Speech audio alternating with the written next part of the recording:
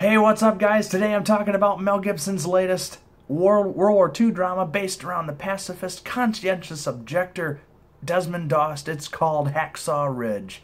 Man, uh, this has been a long awaited return for Mel Gibson. We have not seen a lot from him in the last few years. He's been gone for about 10 years, let's say. I know he's had a few roles here and there, but mostly he's been gone, especially from the director's chair, which is where he's at for uh, Hacksaw Ridge. You don't see him on the screen at all. I know he's done. He was also getting a lot of praise for the job that, that the acting that he did in the movie, uh, an actual performing a role that he had in Blood Father. I have yet to see that, but I've heard very very good things. But I was very anticipating the release of Hacksaw Ridge because I had heard so much buzz around the movie. And the, again, Gibson making his return, it's a pretty big deal. And uh, it's been getting all kinds of pos- positive, uh, positive notes from all the insiders around the industry. However, this story has been wanting they people have been wanting to make this movie for a long time.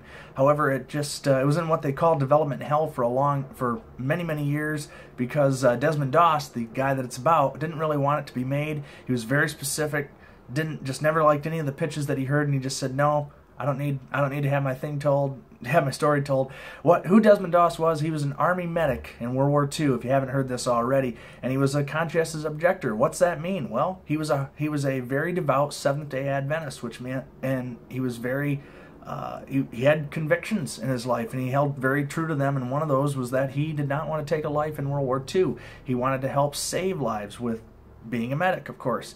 And so um, he uh, he had tried to go through army training without uh, without refusing to take up a weapon, and that's really what this movie's about. It's about uh, his his uh, going through some hardship, going through the boot camp process and everything, and being ridiculed by some of his fellow recruits and uh, and other things as well as he's uh, trying to overcome and try to say, hey, I'm just trying to I'm trying to follow through with what I believe, and then and he doesn't like war, but then they're like, but dude, you're you're trying to join a war that you don't want to fight in but it's it's a very interesting story, and and it's a true story too. The um, and let me I gotta tell you guys, this this is by far I, I would say walking on a Hacksaw Ridge, I was stunned. I I really had to reflect on it for a very long time because it was so moving. It was uh, it was hands down the best best war movie I've seen since probably Saving Private Ryan. You could someone could probably argue that it's better than Saving Private Ryan, but I'm not going to make that judgment call today. But still, this is it's action. World War II uh, battle scenes are some of the best that I've ever seen. It's Mel Gibson strongly directs this movie from start to finish. He's especially good towards the end, almost universal acclaim. I haven't heard anybody uh, knock the battle sequences. It's it's so well done. I can't even put it, most of it into words. A lot of it is it's uh, it's definitely war as hell, and very terrifying scenes and a lot of uh, it's very graphic. So it's uh, it doesn't hold anything back, but it is brilliantly choreographed and so well put together. It, they'll have you. They had me at the edge of my seat. Had some. I mean, some people want to cover their eyes. It's it's going to make you kind of squirm at some parts. It's just unbelievable and undeniably good. The, all those battle sequences. Some people say that some of them are comic booky. I thought I didn't find that. I think they were all just just great. The you can't um, the first part of the movie. Some people kind of some other critics I've seen have kind of played it off as being hokum. I didn't find that at all. I think it painted a very good portrait of this guy Desmond Dawson, his life, and shows how he meets his wife, played by Teresa Palmer, who's fantastic in the movie. I didn't know anything. I've never seen her in, a, in a, any of the roles she's had previous. A lot of smaller roles I, and a lot of more independent uh, independent films, but this uh, this movie.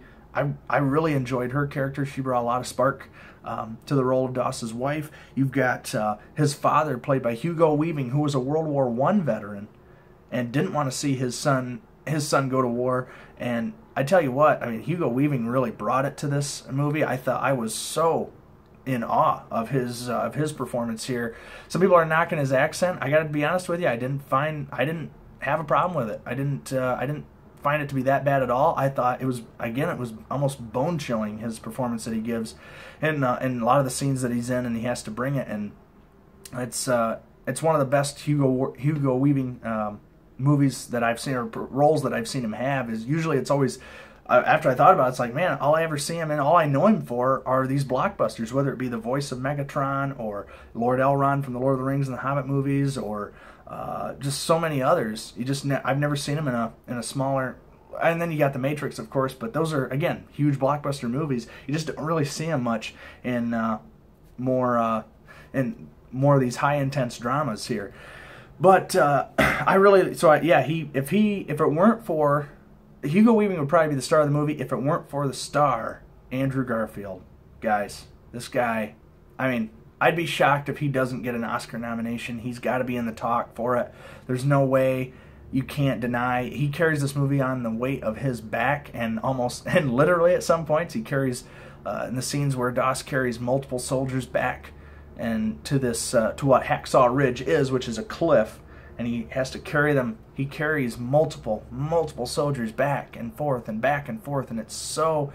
Uh, and that's just part of it. That was uh, such an amazing sequence there, but this guy, how he performs when he's trying, just the scene. I, I have to tell you, I was I mean, I had to fight back. I had to. I had tears welling up in my eyes just because, just when we reached the halfway point in the movie, just when he finally proves to the army, or he manages to, he he has to prove the army that he is willing to go to war, and he has to to get them to agree to send him and not and allow him not to fight with a weapon. And it's that just making him seeing him go through that process was so filled with emotion, and it's it it really tugs at the heart because and this guy's this guy is just a real hero, and the movie really portrays that so well.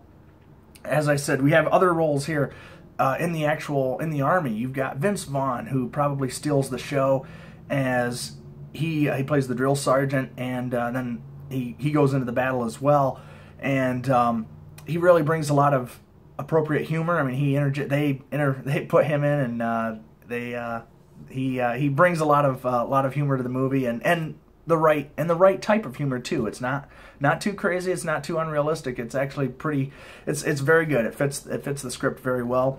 I thought Sam Worthington was very good. He played the captain of the uh, of the uh, um, battalion or troop that uh, Garfield is part of or Doss is part of. Then you've also got a good role for Luke Bracey. He was very fun in this movie, and uh, Rachel Griffiths plays his mom. She was great too. Just an overall wonderful cast and a great movie. I can't, uh, I really, guys, I can't come up with anything bad about it. I plan on seeing the movie again, and it's um, it's one of the best films of the year, no doubt about it. All the buzz lived up to it. Mel Gibson, welcome back, sir. You've given us a, a true treasure of a film. Thank you, everybody, so much for watching. I'll have more reviews here very, very soon, and I'll talk to you again soon. Take care.